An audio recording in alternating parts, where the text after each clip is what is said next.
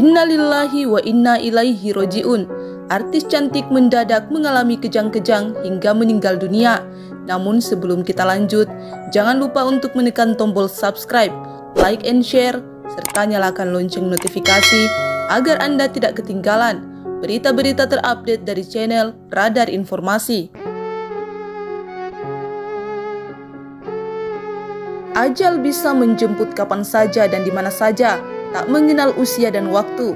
Seperti halnya yang dialami artis cantik satu ini, meninggal dunia di usianya yang masih sangat muda dan tengah berada di puncak karir. Bahkan pihak keluarga harus menelan getir pahit dengan kabar kepergian sang artis. Pasalnya, ia meninggal dunia tak lama setelah dirinya melahirkan anak pertama berjenis kelamin perempuan. Di saat tengah menikmati peran barunya sebagai seorang ibu, ia harus berpisah untuk selamanya dengan sang putri dan suami. Setelah lama tak terdengar kabarnya, tak banyak yang tahu jika artis cantik satu ini telah meninggal dunia dan meninggalkan buah cintanya bersama Ferdi Ali, Fesha Shakila Arnas yang masih berusia 9 bulan. Kabar meninggalnya Sasha pertama kali dibagikan oleh pihak manajernya. Innalillahi wa inna ilaihi roji'un. Telah meninggal dunia sahabat kami Sasha Yunisa.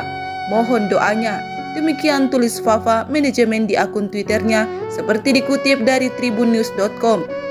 Sasha Yunisa meninggal di perjalanan menuju rumah sakit di kawasan Pondok Cabe, Tangerang.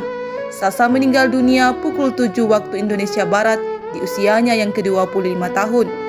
Sebelum meninggal dunia, Sasa Yunisa sempat mengalami kejang-kejang dan mengeluhkan rasa sakit di bagian jantungnya. Jenazah Sasa Yunisa, alumni gadis sampul 2005 itu, dimakamkan di TPU Pondok Cabe Udik, Pamulang, Tangerang Selatan.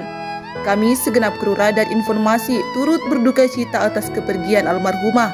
Semoga beliau husnul khotimah dan keluarga yang ditinggalkan diberikan kesabaran dan keikhlasan. Amin, amin ya robbal alamin.